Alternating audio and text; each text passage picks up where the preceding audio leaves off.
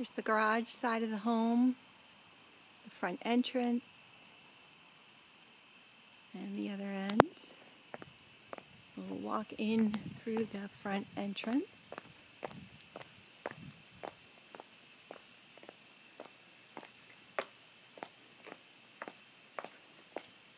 As you walk in, there's a grand stairwell which goes up to the second floor. Master suite to the left, and four other bedrooms are to the right. To your right is a formal dining room.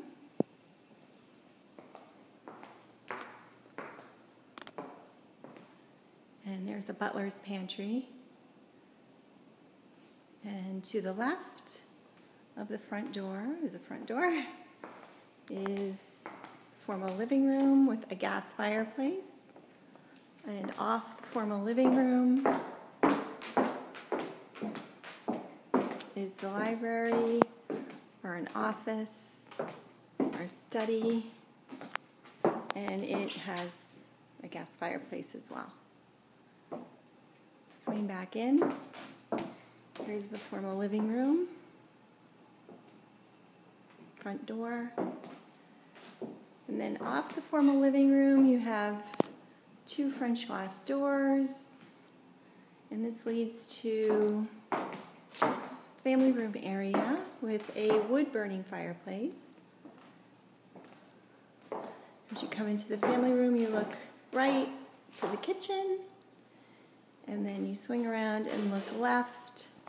And there are two more areas here. This is a music room, the piano will be staying and then a TV room here. And that stairwell leads down to the pool. Coming back around, we'll walk this way, back through the family room, living room. Here is just um, an entry to the deck hallway back to the front door. Through this hallway is a powder room, half bath, right there. Turning right, this is the entrance to the basement, right there. Some inlay tile. I'm coming back around, here's the dining. We'll walk this way through the butler's pantry. It does have a sink and a wine cooler for storage up here. And this is the eating kitchen area. Full French doors out to the deck and the kitchen.